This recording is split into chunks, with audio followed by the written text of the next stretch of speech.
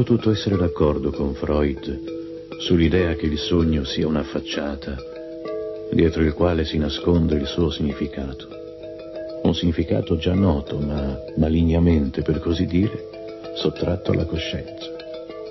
Secondo me i sogni sono natura che non ha intenzioni ingannatrici, ma esprime qualcosa come meglio può, così come una pianta cresce o un animale cerca il suo cibo come meglio posso.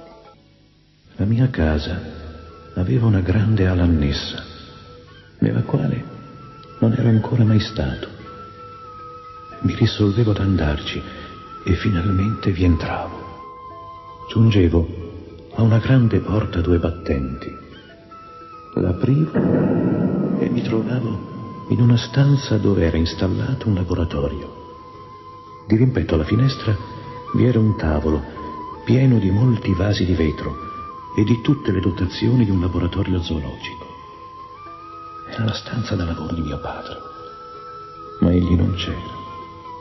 Alle pareti vi erano scaffali contenenti centinaia di recipienti di vetro, con dentro ogni specie immaginabile di pesci. Ero sbalordito. Così adesso mio padre si occupa di teologia. Questo che abbiamo appena ascoltato è un sogno, è un sogno di Jung, che lui stesso trascrive nella sua autobiografia, quel ricordi, sogni, riflessioni, scritto dopo gli 80 anni e finito pochi giorni prima della morte. Un testo che a buon diritto possiamo definire l'unico caso clinico che il grande zurighese abbia mai trascritto in forma di racconto, il suo caso clinico. Infatti, a differenza di Freud che eh, ci ha lasciato almeno cinque casi clinici, cinque casi clinici leggibili come degli appassionanti racconti polizieschi, Jung invece non ci ha lasciato nessun caso clinico che possa essere riportato eh, a illustrazione del suo particolare punto di vista in seno allo sviluppo della psicologia del profondo. Ecco, e questo nonostante che i suoi scritti siano costellati di riferimenti clinici. Stando lì e guardandomi intorno, notavo una tenda che di tanto in tanto ondeggiava, come se soffiasse un forte vento. Improvvisamente appariva Hans, un giovane campagnolo, e gli dicevo di andare a vedere se fosse aperta una finestra nella stanza dietro la tenda. Andava, trattenendosi un certo tempo, e quando ritornava gli leggevo un'espressione di terrore sul viso.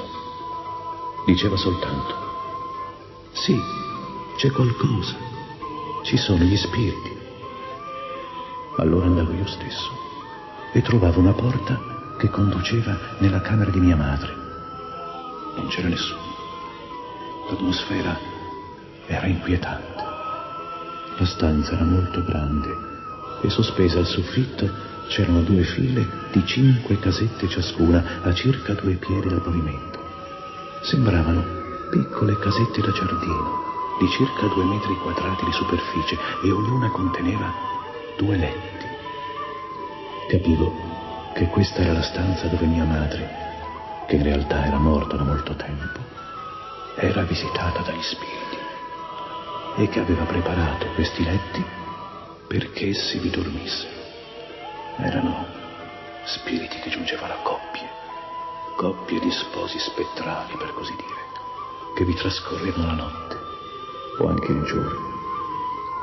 Di fronte alla stanza di mia madre c'era una porta. L'aprivo ed entravo in una vasta sala che mi ricordava la hall di un grande albergo. Era arredata con poltrone, tavolini, colonne e tutto il fasto solito in un simile luogo. Una banda di ottoni suonava rumorosamente. Avevo sempre sentito la musica sullo sfondo ma senza sapere da dove proveniva. Nella hall non vi era nessuno, eccetto la banda, che suonava motivi di danza e di marce. Questo è dunque il sogno, uno dei tanti che Jung trascrive nella sua autobiografia. Siamo alla fine di un periodo approssimativamente collocato fra il 1912 e il 1922, un periodo che Jung definisce un periodo terribile di solitudine, di sono parole sue di intensissimo confronto con l'inconscio. E infatti a confronto con l'inconscio è il titolo del capitolo dell'autobiografia da cui questo sogno è tratto. Nel 1913 Jung ha portato a compimento il suo divorzio scientifico da Freud. Eh, il tema dello scontro definitivo è sul concetto di libido o energia psichica, che poi avremo modo di vederlo eh, più chiaramente. In realtà la scissione tra questi due personaggi era inevitabile, si stava preparando da molto tempo. Jung tende sempre più chiaramente a questo punto verso una metapsicologia, qualcosa destinato a renderlo capace di avvicinarsi agli elementi strutturali, archetipici della psiche. E poi c'è un altro fatto, come scriverà proprio nei suoi ricordi eh, autobiografici. Lui scrive La mia vita è la storia di un'autorealizzazione dell'inconscio. Come a dire, eh, dovevo andare per la mia strada e non seguire quella del padre. E veramente per Jung rompere con Freud significa fare i conti con il padre.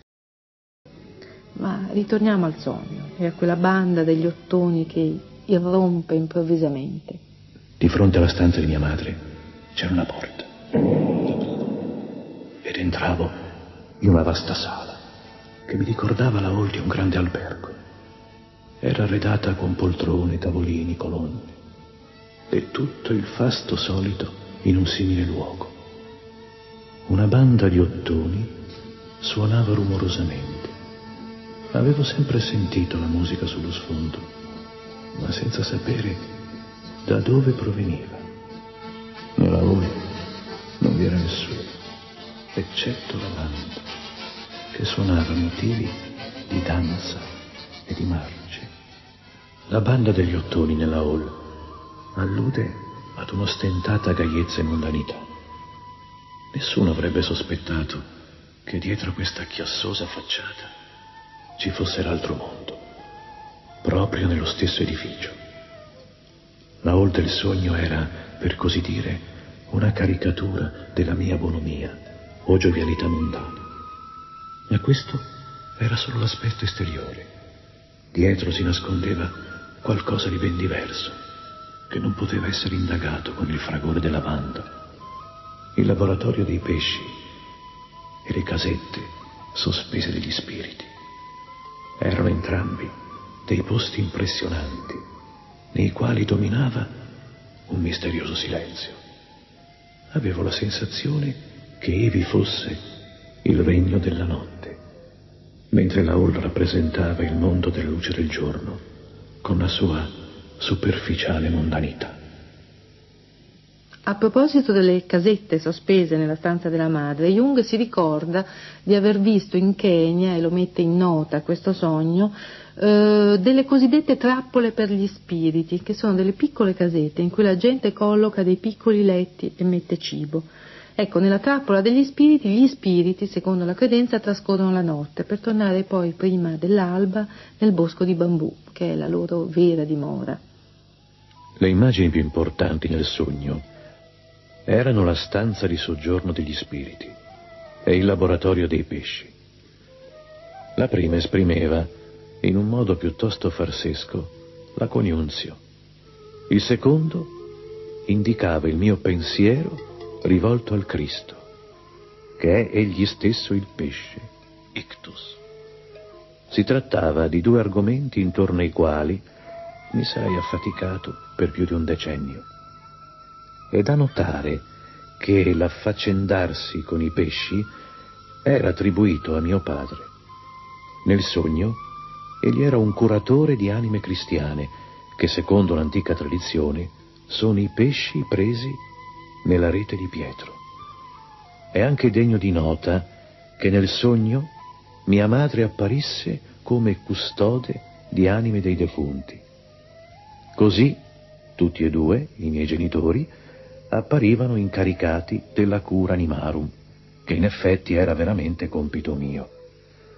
Qualcosa era rimasto incompleto e perciò si trovava ancora latente nell'inconscio e quindi riservato per il futuro. Infatti non avevo ancora assolto il compito principale dell'alchimia, la coniuzio. E così non avevo risposto alla domanda che l'anima cristiana mi poneva.